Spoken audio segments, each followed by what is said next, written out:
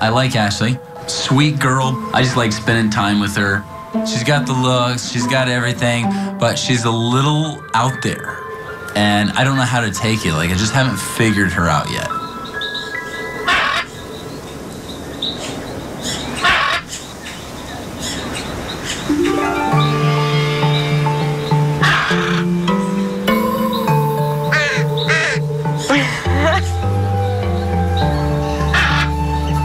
No,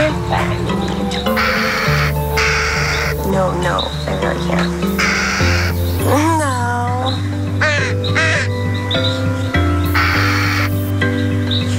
Things could be worse right now.